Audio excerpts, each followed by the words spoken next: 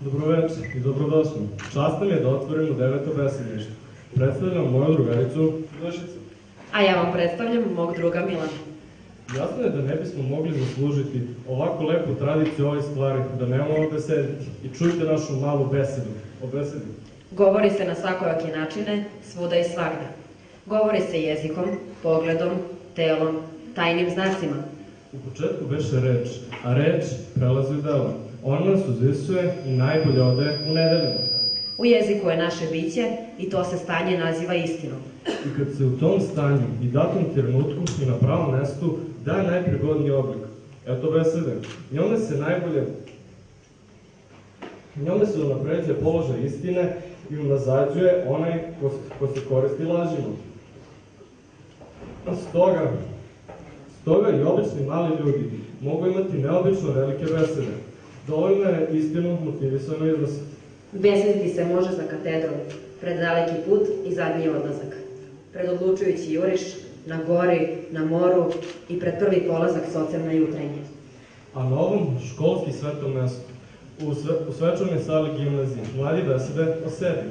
A zadata tema je govor mladih kao, kao izraz autentičnosti i kreativnosti ili kvaranje jezika. Ali, draga publiko, bez vas nema besede. Jer naši govornici, to smo mi sami.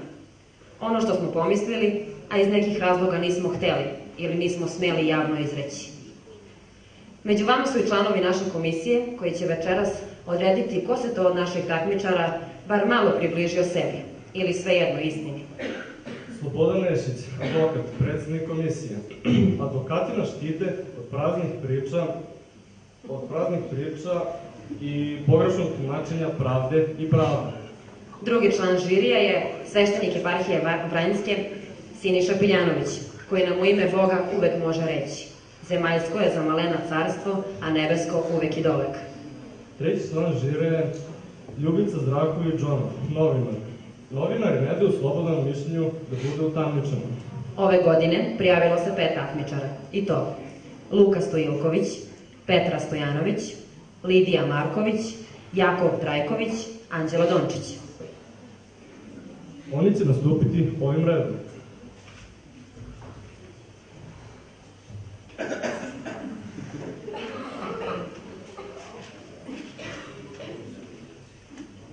Prvi besednik Anđela Dončić. Drugi besednik Luka Stojelković.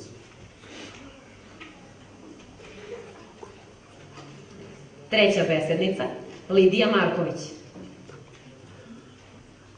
Četvrta besednica Petra Stojanović.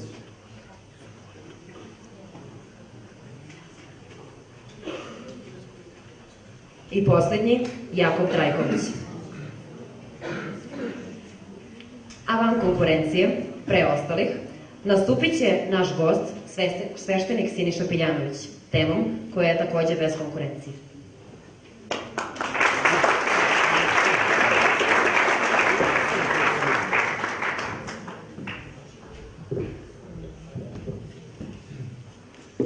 Braćo i sestre, uvažena gospodo hrišćanska, dobroveče i pomaže Bog.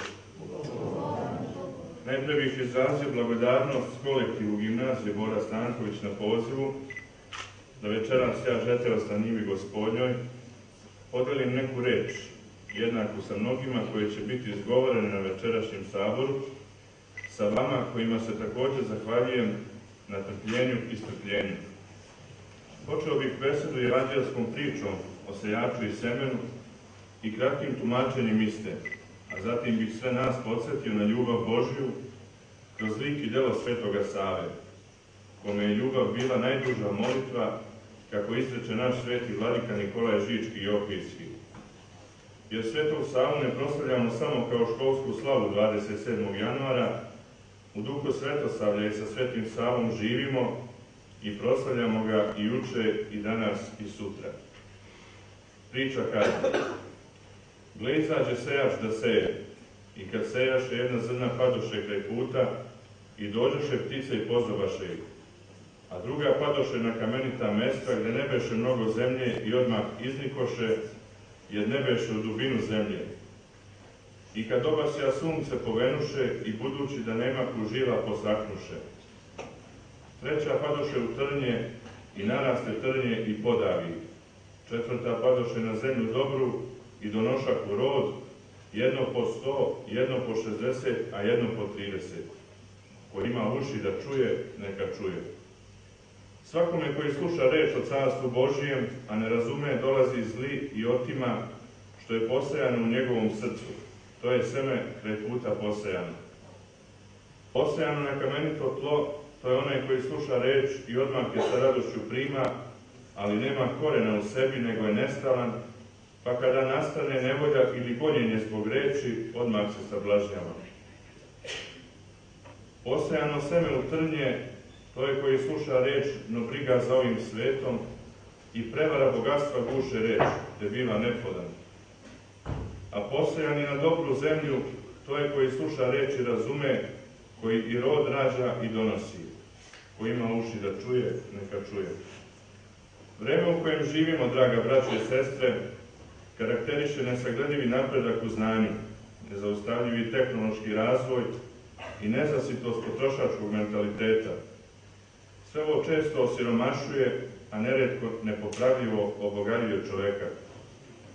Verovatno nikad kao danas čovek nije bio toliko zbunjen, toliko preplašen, toliko obeznađen.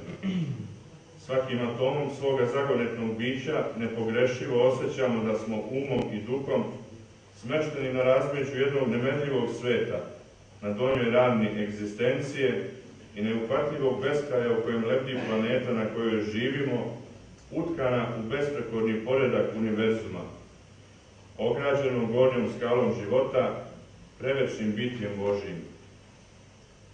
U te za nas ograničena bića stravične raspone, sišao je Sin Božiji da objavi čoveku istinu o svom, ali i čovekovom bogosinovstvu, da ga uveri da nije sam u hladnoj vasioni, nego da je s nama Bog, Bog ljubavi, ljubavi koja ne zna za vreme i prostor, gospod mira i radosti. Pažljivo osluškujući unutrašnja kretanja svog tananog bića, što je svojstveno svim darovitim ljudima, princ jedne pregršti zemaljske, zvane Raška, jasno je začuo i nedvosmisleno razumeo bezglasni vok zeji, koji su božanska usta gospoda Hrista odenula u slova i zov hajde za mnom. Od tog trenutka, po reči pesnikovoj, mlađani Rastko je napustio zemlju i svoje i sebe. Taj odlazak sažet je u četiri slova imena Sava. Jedan ljudski život ulazi u potpuno nove egzistencijalne tokove. Umrlo je smrtno da bi ustupilo mesto onom što je besmrtno. Pogreben je sin Nemanjin, a vaskrslo je dete Božije. U tom živonosnom preokretu iznedrio se samim jedini životni zadatak, traganje za smislom postojanja. Sve svoje godine potrošio je u manjivom učenju, usrednoj molitvi i neumornom služenju drugima što mu je pomoglo da odgonetne psalamski vapaj. Bezdam beznu priziva, glasom slapova tvojih gospoda. I nepogrešivo shvati kako nestvoreni bezdam bića Božijeg neučutno priziva u večno postojanje beznu tvarnog bića ljudskog. Kako svetotrojični Bog, Otac i Sin i Sveti Duh, ljubavlju, izlazeći iz samoga sebe, poziva čoveka na ljubav i priziva ga u zajednicu sa sobom, u zajedničko besmrtovanje i večnovanje. Sveti vladika Nikolaj piše da si jedan, ti ne bi bio ni ljubav, ni mržnja. Da si dvojstvo, ti bi bio na izmeničnost ljubavi i mržnje, ali ti si trojstvo, zato si ljubav i u tebi nema tame ni na izmeničnosti. Ta luda, pod navodnicima, ljubav Božija, jer je nadlogična, jer ne traži svoje, i kada smo okamenili srce na njen zov, a zatim i otpali od Boga, jedinog izvorišta života, ne prestaje da se izobilno izliva prema nama. Ljubav nebeska, koja gori i ne sagoreva, koja traje večno i u večnosti, ljubav koja se žrtvuje i ne osjeća žrtvu kao davanje, nego kao dobijanje. Zato Sveti Jovan Zlatousti, služeći liturgiju, u ushićenju priznaje Bogu Otcu. Nisi odustao da sve činiš dok nas nisi uzveo na nebo i darovao nam carstvo Tvoje buduće. Zahvaljujući svom čistom i dobronamernom srcu, Sava je to spoznao, da je čovjek mikrokosmos u odnosu na Boga koji je makrokosmos, da David psalmopojac peva baš o tom saodnosu kad kaže bezdan beznu priziva. Ova činjenica je izazvala njegov glad i žeć za svetošću koja u svom izvornom značenju izražava kvalitet jednog drugog sveta. Sveta skrivenog od slave, izuzetog od sujete i pohvala javnosti, udaljenog od svake taštine, a naročito strano svakoj, ma i najromantičnijoj profanoj sekularnoj interpretaciji. Stoga, kada god govorimo o svetitelju, isukali smo dvosekli mač koji presjeca ovo zemaljsku stvarnost na dve polovine. Na onu što svetitelj jeste, ili tačnije rečeno onog što je želeo da bude, i na onu drugu što sami ljudi od svetitelja prave ili hoće da od njega imaju. U ovom svetlu iskrsava pred našim očima ogromna biblioteka posvećena imenu i delu Svetoga Save. Već više od osam stoljeća njegovo ime je predmet neizbrojivih književnih i bogoslovskih studija, nenadmašnih poetskih dela i nadaknutih beseda. Međutim, u svemu tom mnoštvu pisanija neopravdano je najvećma isticana istorijska, to jeste nacionalna uloga Svetoga Save.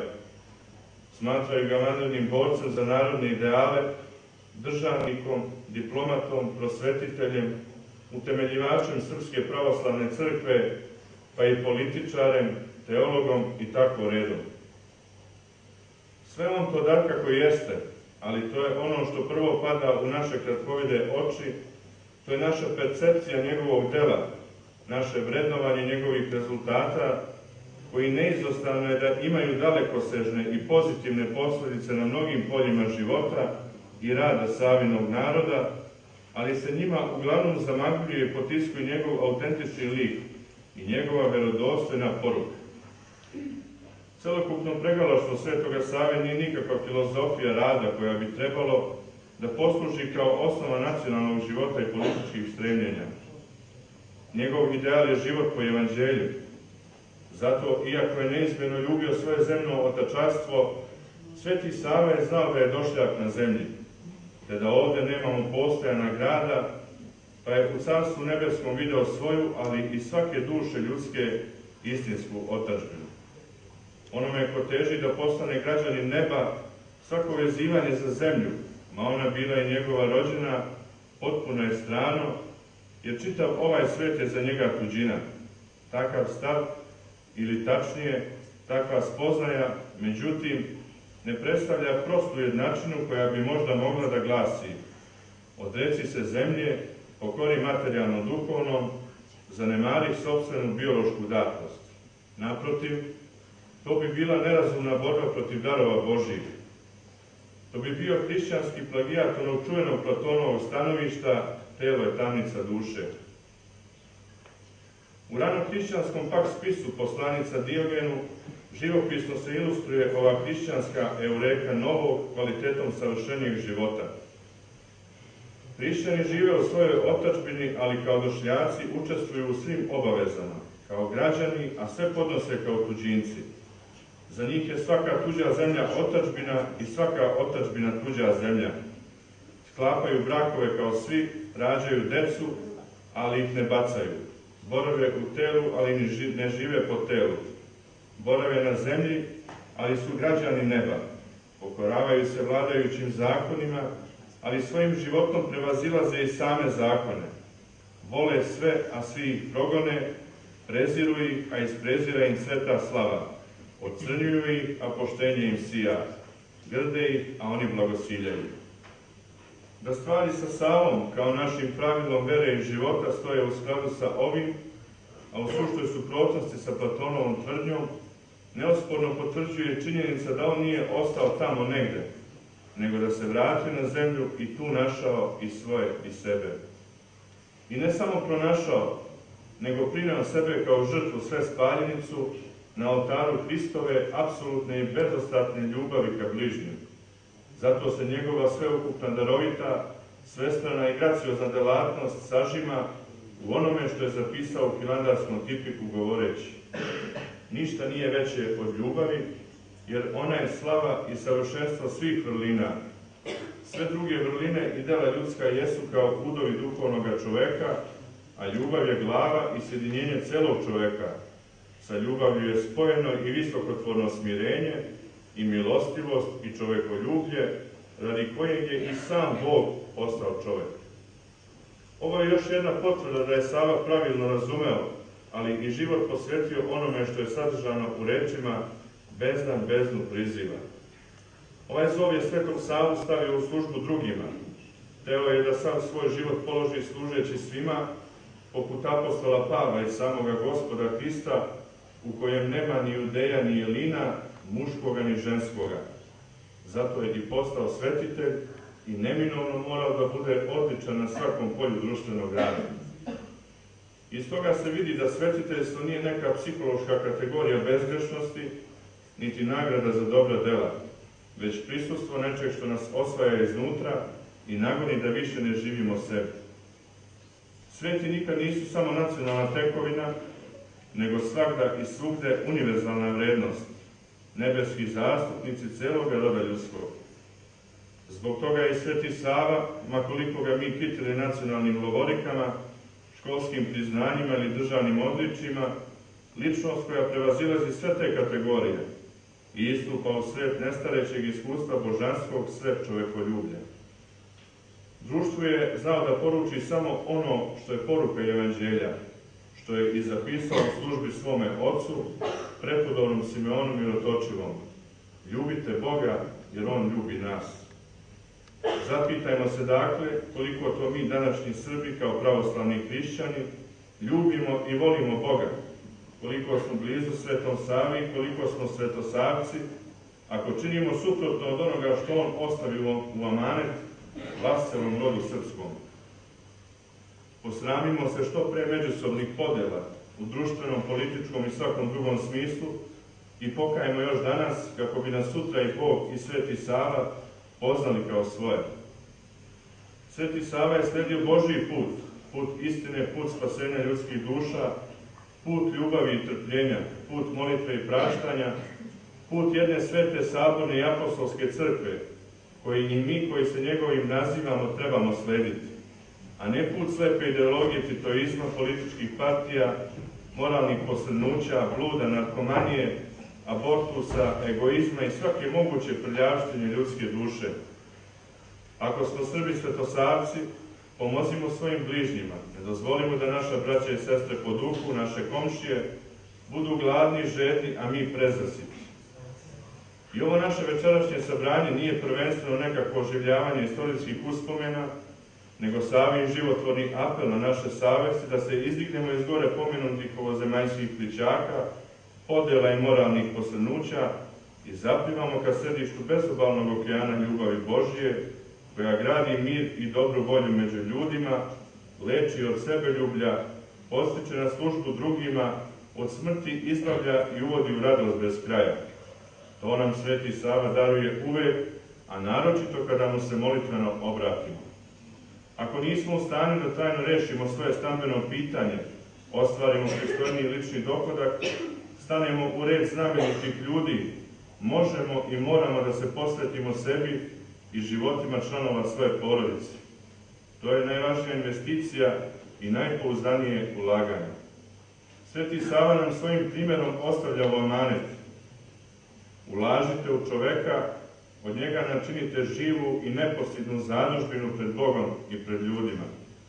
A sada idimo u miru i sledimo Savin trag i reči oca mu Stefana Nemanje, čuvajte, čedo moje milo, jezik kao zemlju. Reč se može izgubiti kao grad, kao zemlja, kao duša. A šta je narod izgubili jezik, zemlju, dušu? Narod koji izgubi svoje reči, prestaje biti narod. Hvala.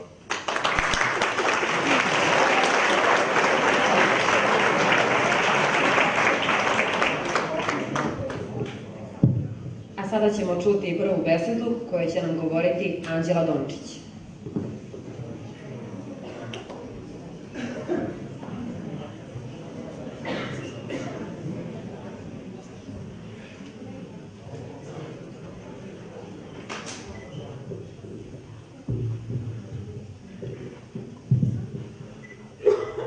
E, Ćale, moj ne da smaraš, bre idem na bleju kod teblice.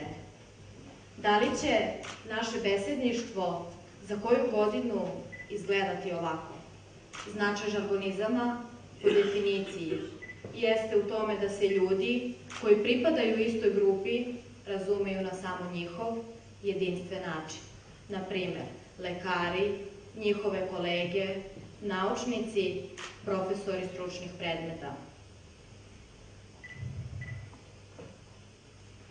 Naš standardizovani jezik ne bi trebalo ovako da zvuči, pogotovo ne zato što izražava nepoštovanje prema ljudima koji su nas doneli na ovaj svet. Koliko god to bio, recimo, lakši način da se laji danas ili budu u tom nekom modernom fazonu.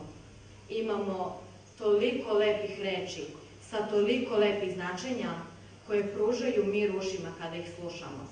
I verujte, nisu toliko teške za učenje. Žargon, po mom mišljenju, daje neku vrstu agresivnosti i dokaz da mladim ljudima fali određena doza pismenosti i volja za čitanje književnih dela u kojima je oličena kultura i sama srž lepote našeg jezika. Uvek će predavan prija da čujete. Gladna sam majko, hoćeš li da spremiš nešto da jedemo? Umesto, kevo, hoš da baciš nešto da hasamo? Kao da mladi žele što pre da odrastu i da se na neformalni način suprotstave odraslima. Posredstvom interneta, društvenih mreža, radija, estradnih ljudi i naravno stranih izraza. Deca uče i slušaju pogrešno, koliko god to njih činilo zadovoljno. Zato njih i smatramo glavnim krivcima za siromašenje našeg jezika.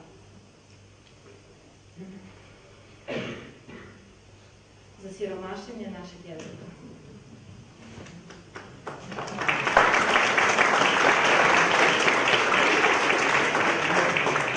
Dajmo značaj i velikim ljudima koji su se trudili da iskonske reči predaju nama. Žargonizme nismo mi izmislili, ali ih sve više upotrebljavamo. Neprekidno nastaju novi i to već postaje sasvim normalan način konverzacije među nama mladima.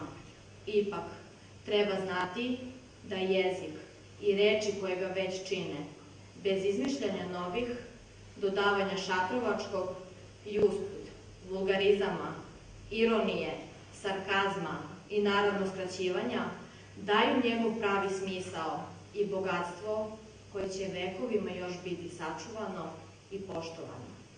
Besedništvo treba u celini da da pouku što se tiče načina lepog govora. Zato ću svoju besedu završiti citatom lingviste Milorada Telebaka. Ako ne sačuvamo svoj jezik i pismo, nećemo sačuvati ni sebe.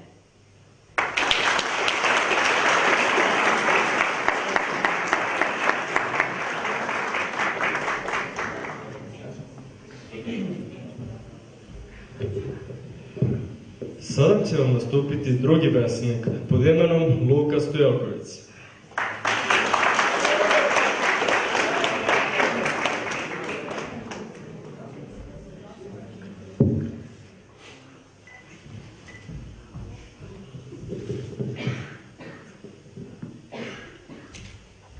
Znam. Znam da mislite da postoji mera po kojoj se jedan jezik razlikuje od drugog. Ta čudesna mešavina morfema, dijalekata i akcenata koji se lagano gubi, kako se sve više približavate granici između nekih dveju zemalja. I tamo, tamo gde se jezik stapa u jedno, u ljude koji tamo žive, shvatit ćete da se ne može premeriti način na koji bi jezik trebalo da izgleda, niti kako da zvuči. Složit ću se sa vama da se sprega gramatičkih i semantičkih pravila mora poštovati. Ali dozvolite mi da vam ukažem na to da ono što naša mladost čini sa jezikom jeste jedan pravi, pravcati marifetluk. Čitav taj zaštitnički stav koji imate prema svom jeziku, a u istinu ga fiksirate za osjećaj nacionalnog identiteta, ne treba da branite od nas samih, već ga pustiti, nek se razvija, nek raste, nek se menja. Jer da bi jezik bio živ, on mora da se menja, baš kao i mi. Jer ono što mi, by the way, činimo s jezikom, jeste jedan tanani, nikada završeni performans. Subtilna, ali i namerna igra reči, od kojih vi strahujete. Jer ta savršena ravnoteža, ili pošto više volite ekvilibrijum semantike i leksike, nije ono što mi narušavamo, već oplemenjujemo, pokrećemo.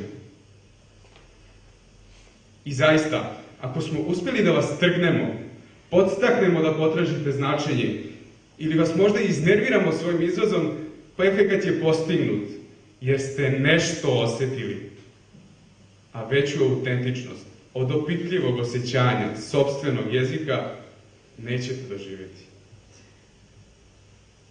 Jer sve te reči koje vas nerviraju, upravo su one te koje nose svoju harizmu. Našu harizmu i vaše neodobravanje. Verujem da vas kritičnost jezika može navesti na to da mislite da se udružujemo zbog nesigurnosti, naše sredstvo ili osjećaj pripadanja. Ali verujte, nesigurnost i strah od nepoznatog i promenjivog je jedino u vama. Jer ovaj naš jezik jeste akustičan samo u nama. Unplugged verzija najbolje muzike koju jedna nacija nosi. A naš slang mu ne menja svojstvo. Niti mu narušava ritam, niti mu pak stvara anarhiju, već mu naprotiv daje dušu. Hvala.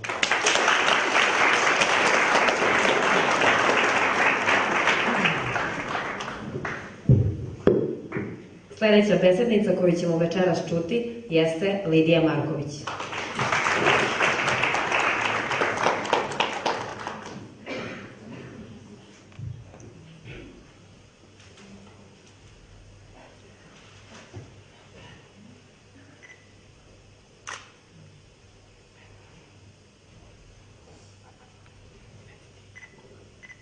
U poslednje vreme stalno sebi postavljam pitanje koja od ljudskih osobina je najbitnija?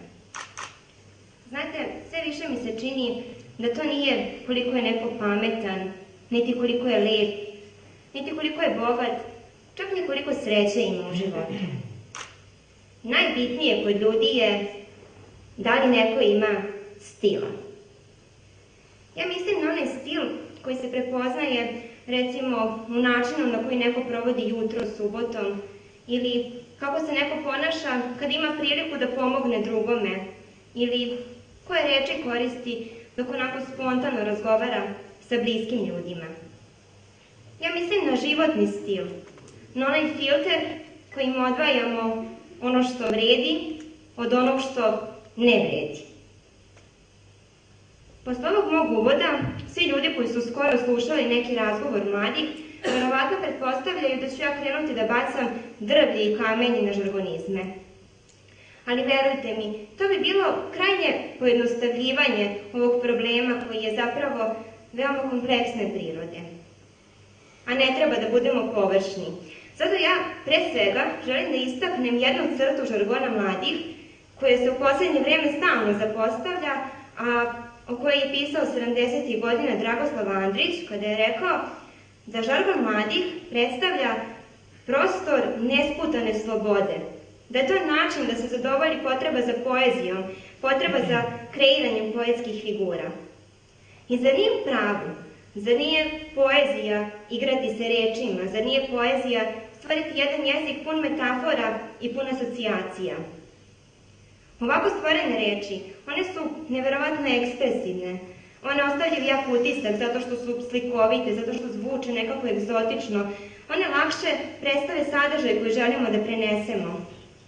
Znate, kada je moja drugarica kupovala haljinu i ona izlazi iz kabine i ja njoj kažem haljina ti je bruka. A to je zato što je bila toliko dobra. I da sam ja rekla da je haljina dobra ili da je mnogo dobra ili da je odlična, verujte mi, to ne bi ostavilo isti utisak na nju kao kad sam ja rekla to bruka. To je takva igra reči, prosto. I, na kada sam ja jednom povela jednog svog druga koji je tako sportski tip na neko književno veče i on meni posle toga kaže ja nikada više neću da idem, ja sam se sve vreme osjećao kao padobranac. I kako je neverovatno zanimljivo da jedna tako obična reč, kao što je padobranac, može imati potpuno novo metaforično značenje u govoru mladih. Dakle, sve je to lepo, sve je to simpatično, ali kao što sam već rekla, priča o žargonu mladih ima dve strane. Jer ako zaista slušamo malo duže neki razgovor mladih, ono što čujemo zapravo, zapravo jesu reči koje se najviše ponavljaju. One reči koje su najzastupljenije, a to su nažalost žargonizmi ekstra, cool, full, žasu, zatim lajkujem, šerujem, hejtujem, zatim tebra, brate, ja ne znam šta je sledeće. Gore od ovoga bi verovatno bilo jedino da se svedemo samo na uzvike, pa da onda lepo ceo svet predstavljamo sa wow, ju, li, je, pa mislim kuda to vodi. U ovim rečima nema ni malo poezije, nema ni malo metafore, nema slikovitosti, nema igranja, Ja ne znam kako smo sebi dozvolili toliku površnost da nam jedno ekstra, koje nema veze ni sa čim, sada znači i dobro i najbolje, ekstra nam je lepo i najlepše, ekstra nam je i nešto što je ukusno i nešto što je moderno i nešto što je udobno, sve može da bude ekstra. Rečnik se toliko sužava, rečnik se toliko smanjuje, fond reči, a ideja je bila da žargon mladih predstavlja prostor nesputane slobode i kreativnosti. Dakle, da li žargon mladih kvari jezik? To je pitanje koje nije nimalo jednostavno. A nije jednostavno zato što se iza njega krije jedan mnogo dublji problem. Govor mladih koji mi čujemo zapravo je lakmus papir. To je pokazatelj, pokazatelj jedne dublje problematike koji je u stvari kulturološke prirode. Jer da bi žargon mladih bio kreativan, mladi treba da budu načitani, produhovljeni, saosećajni. A ukoliko imamo mlade koji su površni, onda je i njihov jezik pojednostavljen i sve na svetu može da se podeli na ono što je ekstra i ono što se hejtuje. I eto, ponovo dođe smo do toga da prosto neki ljudi imaju u sebi taj fini osjećaj za sve stvari u životu, pa tako i za reči koje koriste. A taj fini osjećaj, taj stil o kom govorim sve vreme, Ona, on potiče iz porodice, iz kuće, deca ga usvajaju od svojih roditelja. Ja, ja ne mislim na reči koje petogodišnjaci čuju i nauče. Ja mislim na onaj filter kojim odvajamo ono što vredi od onog što ne vredi. A taj filter se stiče u detinstvu i kasnije se koristi za sve nove sadržaje koji dopiru do nas. Treba da se potrudi, potrudimo da nam omladina bude bolja, pa će i govor omladine biti bolji. Dakle, roditeljska odgovornost, lična odgovornost, rad na sebi, duhovni rast. To je ono na što mislim kada kažem stil i to je ono što nas jedino vodi ka kreativnom i kvalitetnom žargonu mladih.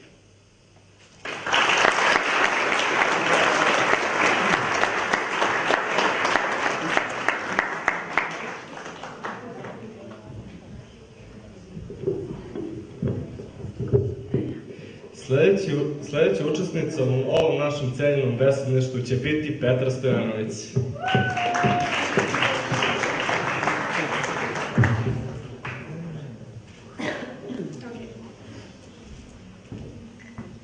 Pozdrav svi! Večeras smo ovde da bacimo jedan mali update koji se tiče cele ove lit situacije, jer nam vi bacate hejt, jer mi... A... Čekajte, da vidim kako me gledate. Niste razumeli ama baš ništa što sam upravo rekla, zar ne? Zato hajde da se ja sad lepo prevedem na normalan srpski jezik i da počnemo iz početka. Može? Dakle, dobroveče i dobrodošli. Mi smo večeras ovdje da pričamo o jednoj vrlo zanimljivoj temi. A to je način na koji mlada generacija krivi i kvari ovaj naš tako lep jezik. Ali pre toga, hajde da se malo upoznamo. Prvo ću vam reći nešto o sebi.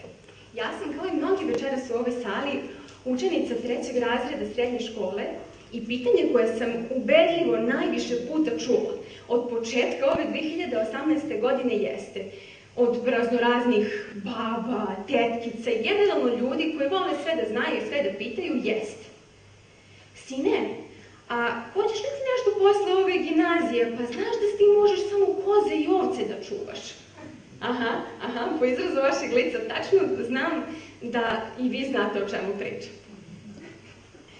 I moja cijenjena genijalnost tada odluči da ih oduševi odgovorom. Ja želim da se bavim jezikom. Želim da se bavim da li ovim našim ili nekim drugim. Da bih dočekala njihov potpuno razočaran izraz lica. Pa dobro, bitno ti samo da upišeš nešto. Očekivali su od mene neki perspektivan odgovor. Nešto kao, na primjer, programiranje, medicina ili prava. A dobili su jezik. I sada ja razumem zašto je njihov stav takav. A, uglavnom ljudi, oni nisu baš najadekvatniji ljudi da kažu svoje mišljenje o tome jer ne znaju kako stoji prava slika stvari.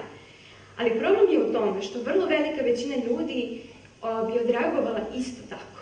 Misle da je jezik eto tako prevaziđena forma, da je dosadan i neperspektivan. Ali ne. Jezik ne smemo posmatrati samo kao sredstvo komunikacije, već kao živo biće, koje se svakodnevno menja. A kako se menja? Menja se tako što upravo u ovom trenutku ko zna koliko je reči na svetu promenilo svoj oblik na neki način i dobilo novo značenje, koje nema, ama apsolutno nikakve veze sa originalnim. Ko zna koliko je reči prešlo granicu, onda su postale pozemljenice. Tako jezik raste. Svakodnevno dobije i nove listove i nove latice, ali i trnje. Međutim, svakako je dobio novu boju, novu teksturu i novi zvuk. Na taj način jezik evoluira i taj proces od uvek traje i trajeće. A da ograničimo se sada samo na ovaj naš lepi srpski jezik. I zašto ga mi mladi menjamo i kako? Kada pričamo o svemu tome, ne možemo a da ne, ne spomenemo udice društvenih mreža i zapadnjačke kulture koja nas stalno bombarduje novim trendovima. A kad kažem novi trendovi, mislim na novi trendovi u modi, novi kulturni, pa i novi jezički trendovi. I tako sada između ljudi više nemamo osjećaj, nego vibe. Mi smo večeras došli na event, ne na događaj.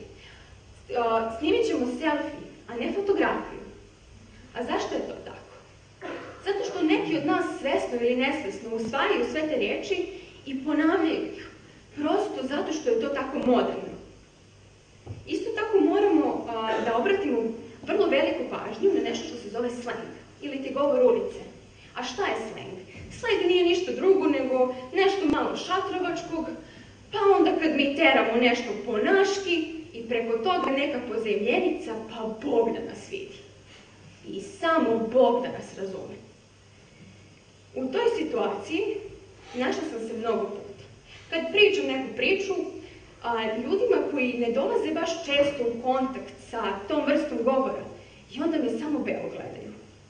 Recimo, pozvala sam svog deku koji je bio u banji, jer sam kao svaki propis, propisni tinejdžer htjela da napravim žurku u praznom stanju. I rekla mu, ej, matori, do kad si tamo da imam praznu gajbu? I onda je usledio minut čutanja za palog brata, koji kad se, koji kad se malo sabrao i oduzeo, rekao mi je, prvo, ja se zovem Rade, dete. A druga stvar je, šta će vama takvim konjima moje gajbe za jabuke? I tu nastaje, tu nastaje cijel problem. Upravo u tom našem nerazumevanju. Sve ovo, sve ovo zvuči super i sjajno. U okviru jednog jezika razvio se jedan novi. A mi Srbi, eto, kad nam već mnoge stvari u životu i u zemlji fale, daj bar da imamo dva jezika. Ali, jedno veliko, enormno ali.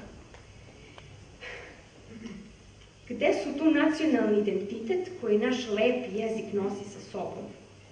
Tolike godine smo se kroz prošlost borili da sačuvamo to što jesmo, da ne izgubimo korene, da bismo se sada doveli u takav rizik da izgubimo sve. Velikani naše prošlosti gledaju nas od nekud i grizu sebi prste kada vide za koga i zašto su se borili. Otprilike ove rečenice sačekat će vas na kokljima ako slučajno bacite neki sleng pred malo konzervativnim ljudima ili ne daj Bože profesorima. Tako je jedan moj drug, kome književnost i nije baš najjača strana i nije pročitao baš svaku lektiru, ali eto, jednog dana je odlučio da ukratko prepriča našoj profesorki srpskog jezika i književnosti ranju romana Zločin i kaska. I to je zvučalo, pazite sad, pa tu imamo jednog studenta koji je totalno puko s parama. Nema ni za filter, jer je sve puko za stan, jer je ispušio za studenjak. I sad on upade nekoj babi u stan, a baba puna ko brod. I sad on nju overi i upadne u takvu frku sam sa sobom, jer je mislio da će Murija da ga provali. On nije baš neki krimus, nego više neka I sad, na kraju, i na, kraju on sam sebe prijavi Muriji. Degen. Na kraju svega toga, lice moje profesorke bilo je negde na granici šoka i potpune zgroženosti. Samo nas je, samo nas je glasom koji je bio na granici naredbe i molbe zamolila da zaboravimo apsolutno sve što smo upravo čuli. I odavde se jasno vidi ceo njihov stav prema ovome. A sada, da vas pitam nešto, dragi naše konzerve i profesori. Da li je u redu naterati nekoga da ispred vaših vrata ostavi deo sebe, deo onoga što jeste i dok je sa vama glumi neku isfiltriranu verziju sebe? Da li je u redu terati nekoga da se menja samo da bi bio u skladu sa, trenutnom, sa trenutnim društvenim i jezičkim standardom? Pa i nije baš. Makar je moje skromno mišljenje da nije. Znamo da nas optužujete da se stidimo toga što jesmo i, da, i nasljeđa koje imamo. Međutim, i tekako su nam istorijska i kulturna baština koje naša zemlja i jezik nose sa sobom važni. Međutim, isto kao što srpski jezik čini osnovu srpskog naroda, tako i naši slengovi, vajbovi, lajkovi i hejtovi čine osnovu našeg ličnog identiteta. I ne, mi ne zaboravljamo ko smo i odakle potičemo već mi stvaramo novu društvenu, kulturnu, istorijsku podlogu iz koje će poteći naša deca. Generacija novog vesnog, generacija novog milenija, koja u sebi ima oluje i zemljotrese i koja će iz korena potpuno promeniti shvatanje sveta, života i poredak moralnih vrednosti. A zašto onda ne bismo menjali jezik? Naše godine u sebi nose revoluciju, Počeli smo od jezika, a ko zna gdje ćemo završiti. A kada završimo, šaljemo vam update. Hvala.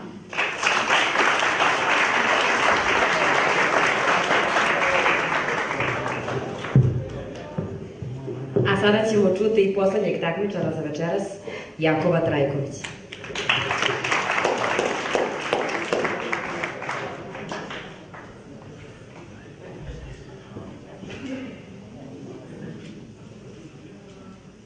Svi znamo da će mladi učiniti baš sve da se razliku od svojih vršnjaka, a i od svojih roditelja.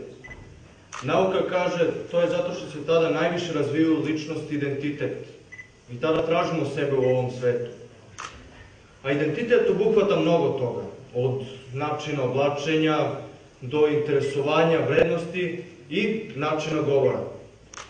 E upravo taj način govora, koji su mladi skovali da dosadni matorci ne bi mogli da ih razumeju, nije više tako simpatičan kada, kao zinat, ti isti matorci počnu da ga koriste.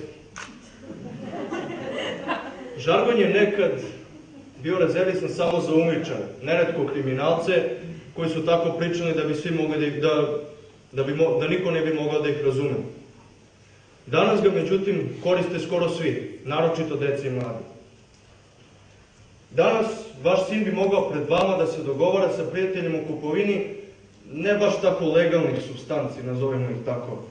A vi biste mislili igraju se deca šta? Kad god zabrinuti roditelji uspeju da dešifruju žargon, mladi izmisle novi i tako stalno u krug. U skorije vreme, da biste razumeli mlade, nije više dovoljno da prosto obrnete redosled slogova ili otvorite stari rečnik iz doba Jugoslavije.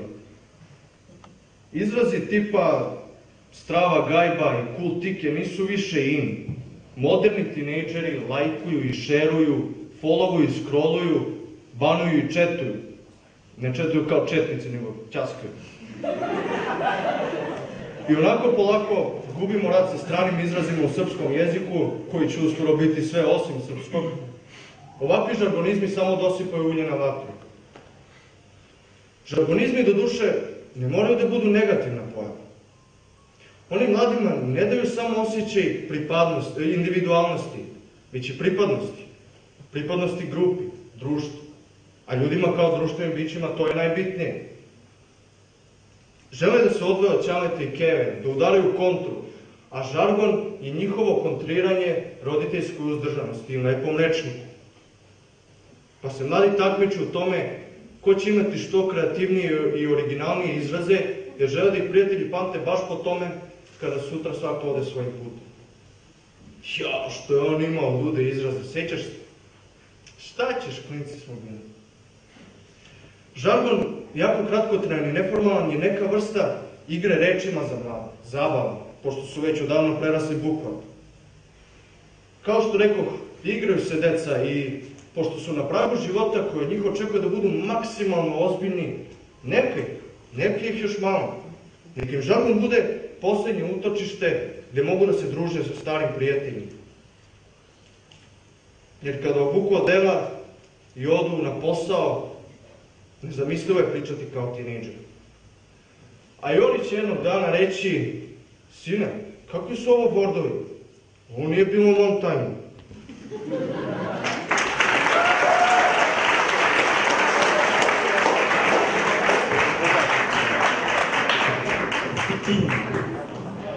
Pozivamo žiri da se povuče i odabere najbolje učesnike. A vi uživajte u našem zabavnom programu.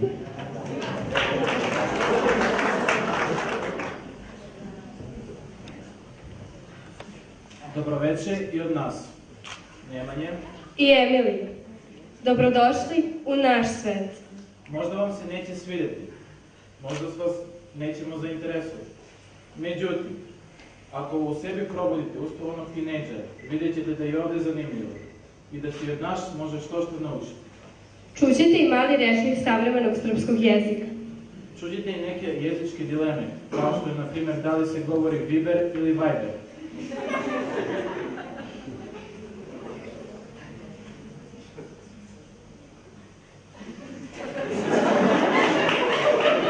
Čućete i našu muziku. Ona vam se verovatno neće dopasti. To, je, to će biti verovatno zbog tekstova. Ali ne brinite, ne unosimo se mi mnogo u tekstove. Mi volimo ritam koji nas pokreće.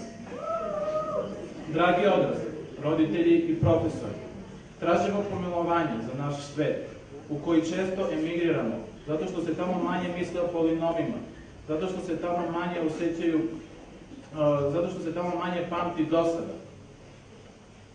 A sada...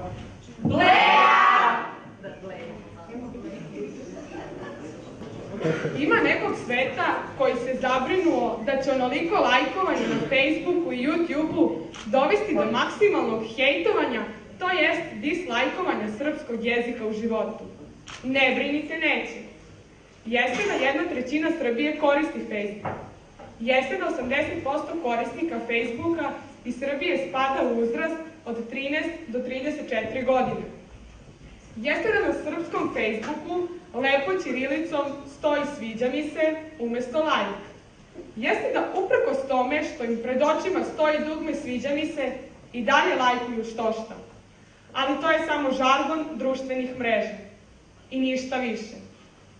Ako se zapitate zašto je neko napisao ej, aj, lajkuj ovo, umesto hej, hajde klikni dugme sviđa mi se i obeleži da ti se ovo sviđa, odgovorit ću vam jednostavno. Zato što na Facebooku i onako niko ne piše kako treba i zato što to ne može da se kaže na starosrpskom jeziku.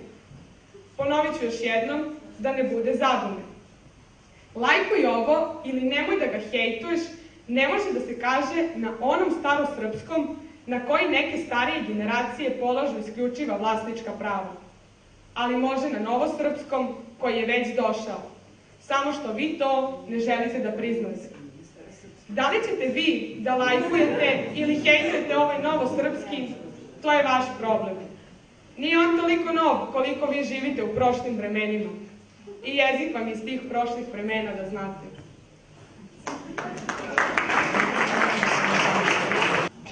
Danas ćemo vas podsjetiti na jednu... Zvoni ti Viber, kaže se Viber. Viber. Viber.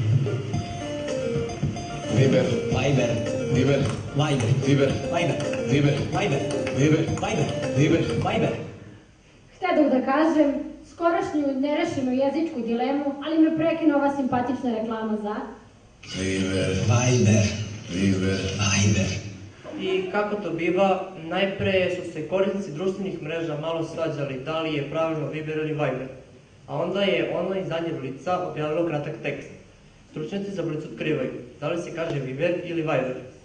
Prvo stručno mišljenje iznela je Milja Lukić, lektor srpskog jezika. Naravno, Viber.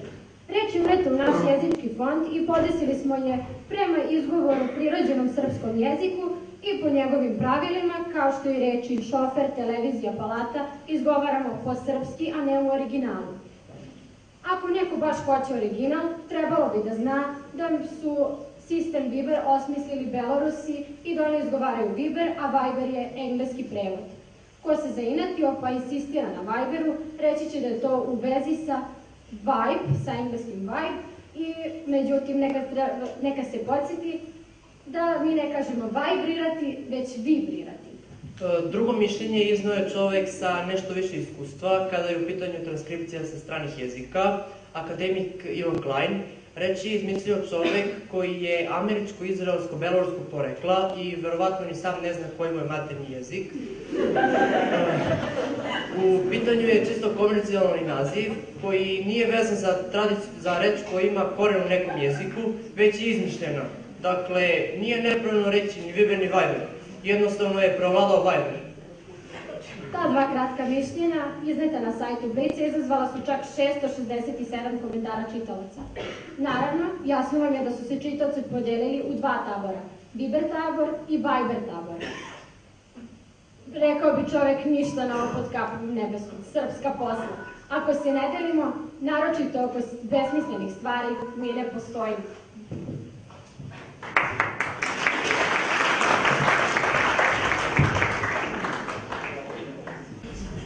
Zar vam nije sve ovo zaličilo na neki partij? Nego, kad rekao partij, nije vam zasmetalo što nisam možda rekla na zabavu ili na žurku? Zabave su nekad bila sela i po sela, zatim sjedeljke, pa žurevi, žurke. Ali sada su zabave partij. Dobro, na partijima se ne kruni kukuruz i ne prede se vuna, ali društvena funkcija im je, složit ćete se, ista. Nemojte se previše buniti protiv stranih reči. Bolje razmislite kakve se sve društvene promene kriju u tom nizu. Selo po selo, sedeljka, žur, žurka, park. Podvucite reč koja vam najviše odgovara i tek tada ćete znati koliko imate godina. Malo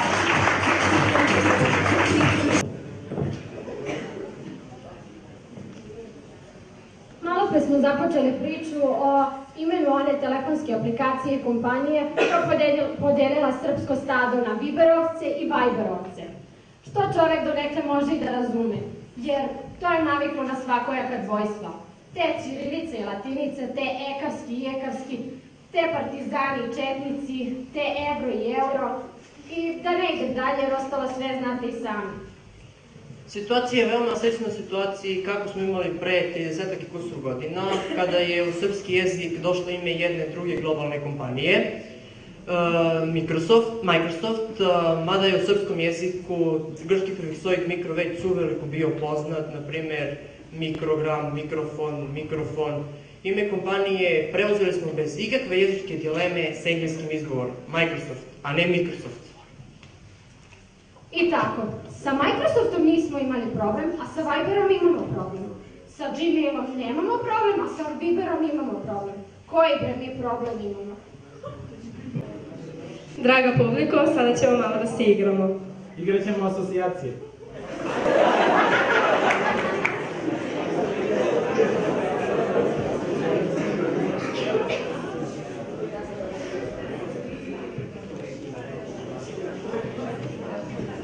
Otvorite želi da otvori prvo polje?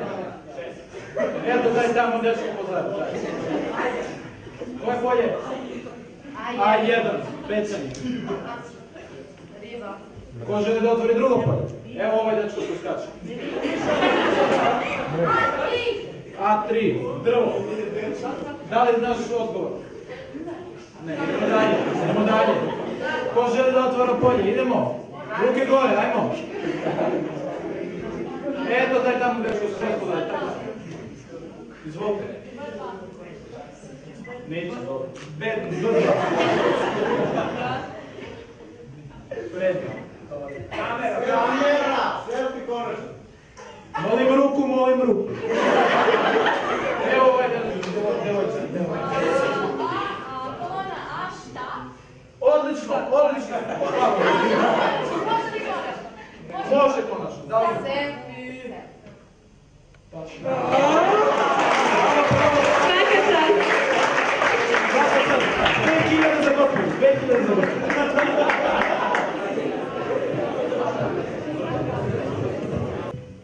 Blog je sasvim nova reč.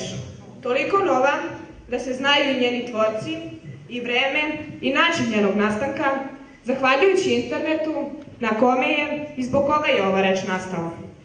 Ukratko, najpre 17. decembra 1997. godine čovek po imenu Jorn Barger skovao reč weblog, doslovno dnevnik na webu.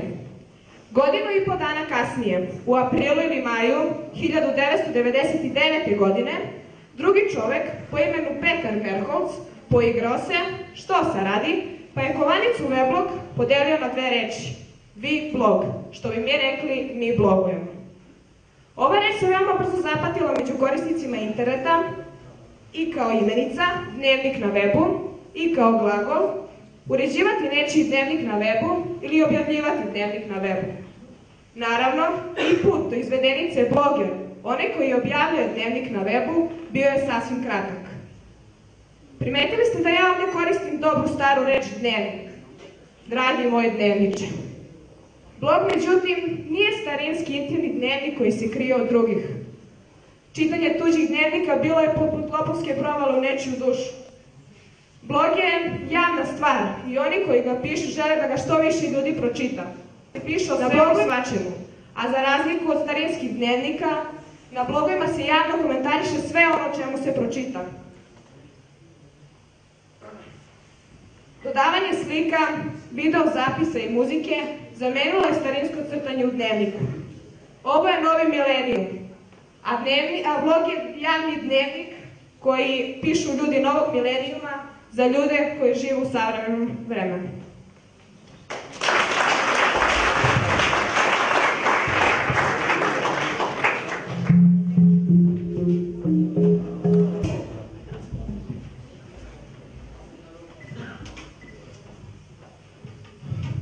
Ću ja malo da se frajerišem, pa ću da vas pitam. Da li prepoznajete koja reč u srpskom jeziku ima ova značenja? Pod jedan, lakomisan, vetropirast, neozbiljan mlad čovek, mangup, huligan. Pod dva, površan mladić, budala, naivčina. Pod tri, ljubavnik. Niste se dosjetili? Naravno. Da je ovo sada kviz, nikada ne biste osvojili milion dinara. Naime, sve su ovo definicije iz srpskih rečnika koje opisuju reč frajer. Da li biste ikada rekli da frajer znači ljubavnik? Ili da je frajer naivčina. Budala. Mangup, huligan. Na, verovatno ne biste. A da li znate da smo ovu reč pazarili iz nemačkog jezika i da ona izvorno označava onog ko posećuje, da izvinite, javne kući? Verovatno niste. Ali sada znate da frajeri života sigurno nisu ono što o njima govore rečnici. Pa inače uopšte ne bi bilo dobro biti frajer. Pogotovo dobar frajer. Kad rekao smo ljubavnik, da li znate da imenica ljubavnica uopšte ne postoji u uh, Vukovom rije, rije, riječniku? Da pomenemo i Vuka, jer se ove godine navršava 200 godina od izdavanja srpskog riječnika. 1818. godine u Vukovom riječniku nema odrednici ljubavnica, dok je njen muški pandan, ljubavnik, zabeležen i posmatramo ga iz savremene perspektive u veoma neobičnom značenju. Naime, dok je u srpskom književnom jeziku reč ljubavnik predstavlja osobu koja uh, ima vanbračne i ljubavne odnose sa ženskom osobom. Ili muškarac koji se često upušta u ljubavne avanture. Definicija na nemačkom jeziku koja sledi iz ove odrednice u srpskom rečniku otkriva nam da je njeno značenje u Vukovo vreme bilo blisko značenju u savremenom jeziku imenici prijatelj. I da je bilo ne samo uobičajeno, već potpuno prikladno da se uh, ljubavniče uh, oslovljava nepoznata osoba sa kojom želimo da stupimo u komunikaciju. A sad vas izazivam da vidite šta bi se dogodilo kada biste strancu na ulici prišli oslovljavajući ga sa ljubavniče. Verovatno biste dobili šamar. Ma ne deo šamariti ti go ljudne preko oči, niđe noć kude se nalazi.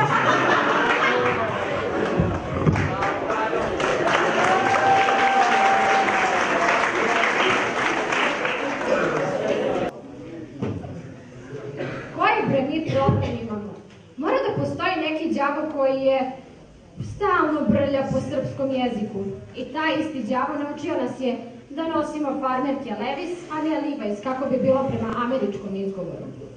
E, Isti đavo nas verovatno naučio da ime one američke kompanije koja proizvodi sportsku obuću i odeću već godinama izgovaramo Nike. U početku smo toliko žudili sa tim patikama, one su se volele i nosile, da smo počeli da im tepamo Nike. Lep život na, baj, na, bajkama, a pravi život u Najkama. Obratite pažnju na ime kompanije, Nike. Toliko nam je prirasla za srce da smo nje napravili čistokrvnu srpsku imenicu Nike. A pre neku godinu neki nam je đavo do šapnu da se ime ove kompanije pravilno izgovara Nike, jer je kompanija dobila ime po starogrečkoj boginji pobede koja se na engleskom izgovara Nike. Ta boginja se srpskom izgovara Nika, dakle, u tom slučaju, kako ćemo zvati patike? Možda Najkice ili Nikice? Đavo će ga znati. a sada, dragi gledalci i slušalci, neka dignu ruku svi oni koji izgovaraju euro. Dobro. A sada neka podignu ruke svi oni koji izgovaraju euro i ni za živu glavu ne bi izgovorili euro. Dobro. A sada, neka podignu ruke svi oni koji su u životu pojeli evro krem. Pa koja je sad to đavo? Evropa, pa evro, ali euro krem. Mi bre stvarno imamo neki problem. Gde su direktori, tu su i bosovi. Bos je u engleskom razgovorna reč pozemljena iz holandskog. Na srpskom bi joj najteža bila pozemljenica iz francuskog. Šef. Odmah tu bi bio i gazda, što je, ako niste znali, pozemljenica iz mađarskog. Uzalud ćete tražiti srpsku reč za gazdu, šefa ili bosa. Nema, pa nema. Možda bi i mogla da posluži reč starešina, ali ona danas nema tu naglašenu šefovsku, bosovsku, gazdinsku konotaciju. Zanimljivo je da i bos i sve nesrpske zamene za tu reč spadaju ipak manje više u registar razgovornog jezika. Zato i ne predstavljaju veliku pretnju po srpskost srpskog jezika. A, Pre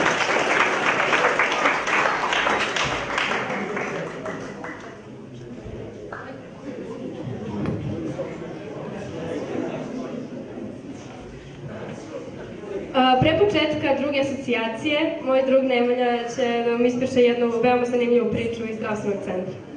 Ali, moram i pričam. Sad će vi dočekati, jesam. Znači, otido ja u dom zdravlja. I ne li tamo čekam na onaj šalter, čekam karton, logično. Ispred mene beše jedna baba. Baba ko baba što će raditi za svađa su na čoveka na šalter. I vikao me, kakav si be ti teme Јас се, јас се скидал смена, прв пат шуем, што е тој? Викам го, Нанче, што е тој темерутин? Она ми вика, ментор, синко, ментор. Све сам те разумеја, бе, знаеш, че све сам те разумеја. И ништо, што ќе радим? Отидем дома да питам бабу ми. Отидоја дома, нано, нано, што значи темерутин и немтор. Еве, синко, па ти ли си ми неки врањанац, бе? Не знаш што е темерутин и немтор? Pa to ti je sinko guturać.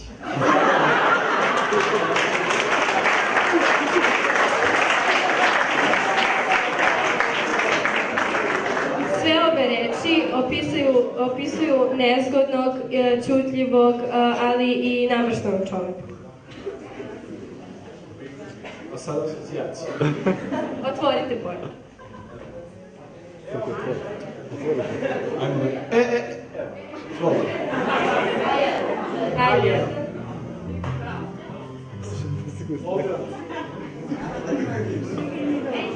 Ograda. Ograda. Da li možda znate odgovor po da? Ko će sljedeći? Sljedeći? Ti tamo. Da, da, da, ti, ti, ti. Dečko, dečko, dečko, ti. E, ti. A4. Šumadija. Da li možda naš odgovor po da? Sljedeće polje. Evo, dečko tamo pozadnje. Za malo nije tačno. Otvorite polje.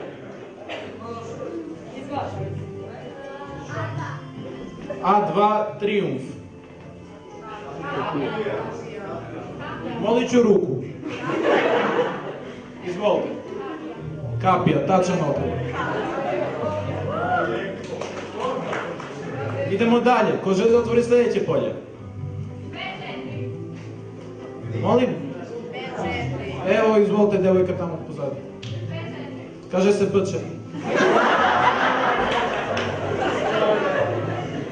Nobelovac. Da li znate odgovor pod B? Mm, Ivo Andrić, prihvatamo, može. Otvorite polje. Neko? Bilo ko? Još neko? E, e, evo dođe, izvolite.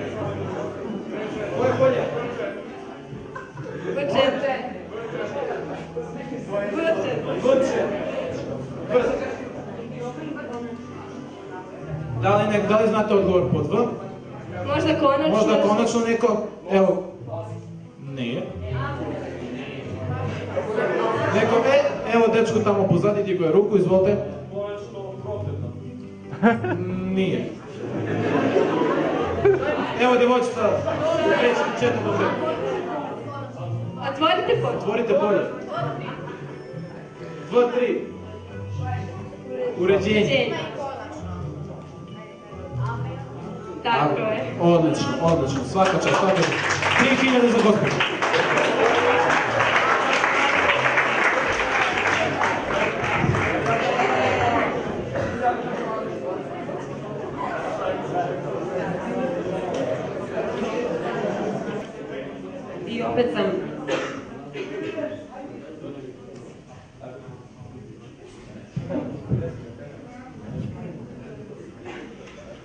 Opet sam posle 100 godina u mutnoj vodi srpskog jezika upecala reč ribicu koja nije anglicizam. Zato što sam faca. Mislim, zato što sam faca, upecala sam reč faca. Pa nemojte mi praviti tu kiselu facu. Ovu reč smo pazarili, kažu rečnici, u italijanskom jeziku. Samo još uvijek nisam otkrila kojim putem i kako. Ali u svakom slučaju, to je u srpskom žargonska reč. Faca je važna osoba, jaka ličnost. U tom značenju je koristimo i u srpskom jeziku, ali ona ima i drugo značenje. Favorit?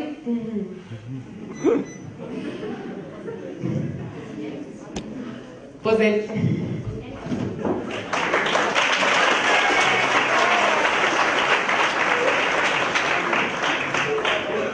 E, u ovom drugom značenju došlo je do jedne zanimljive pojave u jeziku.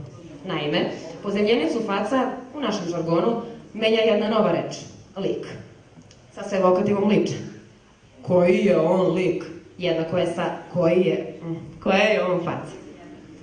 E sad, svi likovi, to jest face, nečiji su favoriti. Gle, još jedna pozemljenica iz italijanskog.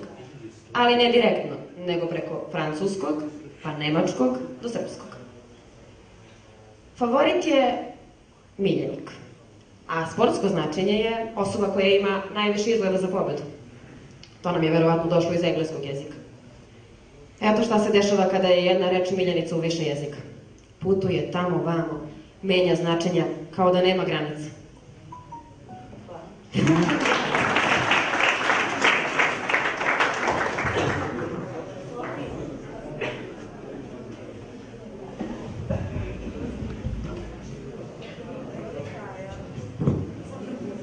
Mi bre stvarno imamo neki problem. Da, i to veliki. Ponekad strane reči preuzimamo u obliku u kome se one izgovaraju u izvornom jeziku, a ponekad ih posrbljavamo i to posrbljavanje, naravno, dešava se bez ikakvih pravila. Dakle, sve znamo, a kao da ništa ne znamo. Podsjetit ćemo vas na onu simpatičnu reklamu u kojom smo započeli. Zvoni ti Viber. Kaže se Viber. Viber. Viber. Viber. Viber. Viber. Viber. Viber. Viber. Viber. Viber. Viber. Viber. Viber. Viber. Nedugo zatim pojavio se i nastavak. Dodaj mi Viber. Misliš Viber. Zatvori živer. Misliš šajber. Jedi biceps. Misliš biceps. Zvoni ti Viber. To se kod nas kaže Viber. Možda je duhovito, ali je beskreno glupo. Kako kvazi dileme Biber i Viber, Šiber i Šajber, biceps i bajceps mogu da nam pomognu da razrešimo dilemu Viber ili Viber? Nikako. Naime, Biber je turcizam, Šiber je germanizam, a bicepsi su nam došli iz... Latinskog jezika! Latina, latina, Tu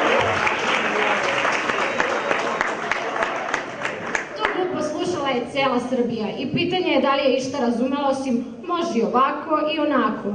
I vidite, nije sve jedno ako se glupost beskreno širi.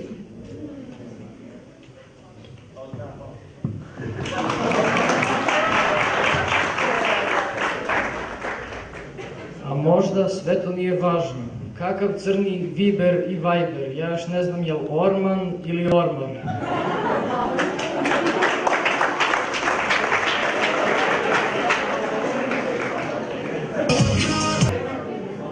Draga publiko, da zaključim. Naš žargon je tinejdžersko stanje, proizašlo iz dvojake potrebe. Da razvijemo sopstvenu kreativnost, pokrećući istovremeno pozitivnu pažnju odraslih. Naravno, doći će i vreme kada ćemo mi biti na vašim mestima i kada ćemo se mi obraćati nekim drugim klincima sa ne daj Bože ovim rečenicama kako to muziku slušaš i kako se to izražavaš. Iako ponekad izgleda da ne poštujemo tradiciju, da napuštamo naše pretke, grešite, jer mi svaki dan Vrlo dobro! Služimo Srbiji! Tako? Ili nikako! Valja!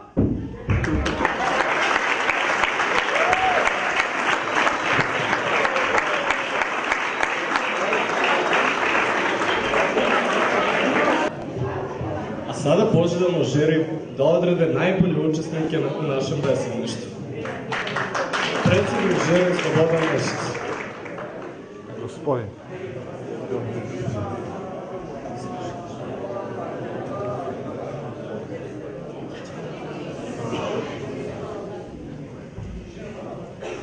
Večer. Po našem protokolu trebalo bi da vodi ovo proglašenje koleginice iz žirija, ali s obzirom da su mene prozvali, ja ću da vas pozdravim, da vam se zahvalim za još jedno večerašnje druženje. Tačno da je bilo ove godine malo manji broj kandidata, ali su bili dobri. I žiri je imao tešku ulogu, kao i uvek, ali je rešio. I evo sad ćete da čujete šta je žiri rešio.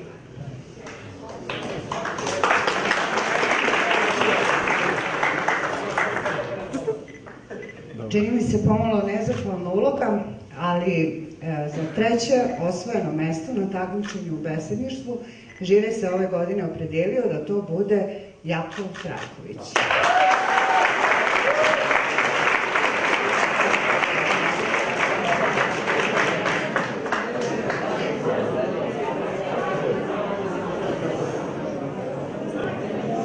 Pozivam i e, njegovog profesora, odnosno, da, profesor je u pitanju Dragan Petrović, da uzme pohvalnicu.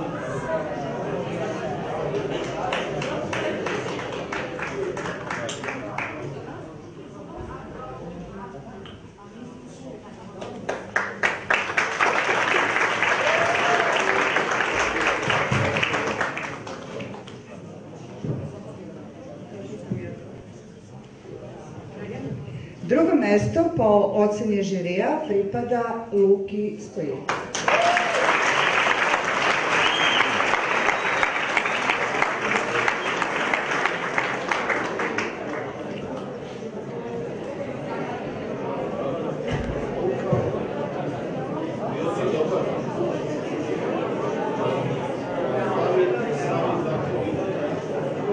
Pozivam i Aleksandru Dimitrijević, e, njegovu profesorku, da primi nagradu.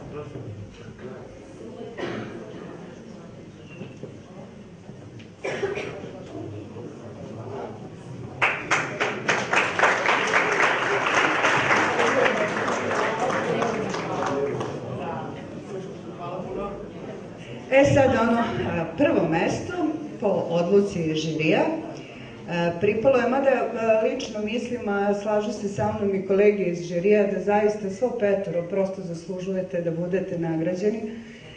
Ali, eto, ovoga puta za osvojeno prvo mesto na takmičenju žiri nagrađuje Lidiju Marković.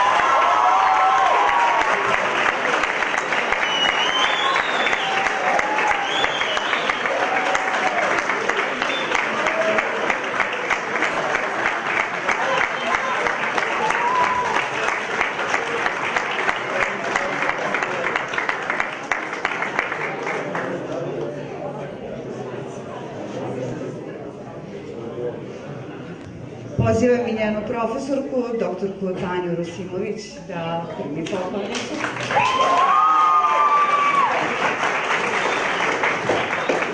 Svojom besedom oduševila nas je i Petra Stojanović, ali će ona ovoga, ove godine dobiti pohvalnicu što je uopšte učestvovala na ovom takmičenju, a čujemo direktorke da zaista da, da nam dolazi iz Hana i da zaista sve pohvale treba uputiti i njihovoj školi i opštini.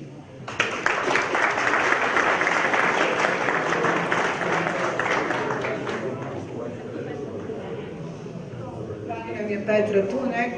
Jeste.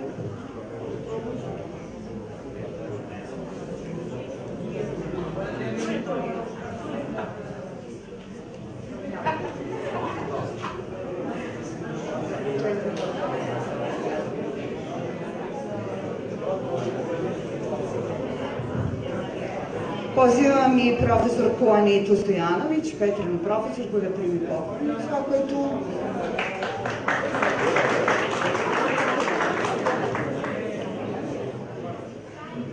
I pohvalnicu dobija za sjajnu besedu takođe Anđela Dončić. Pozivam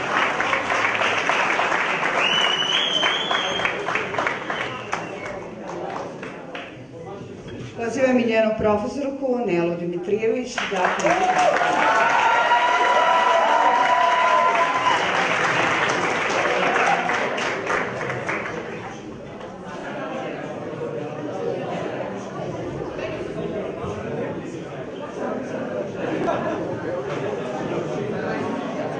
Hvala još jednom za divno organizovano veče, a hvala publici što je podržala naš izbor i po tom aplauzu mislim da nismo pogrešili večeras. Pozdravljam.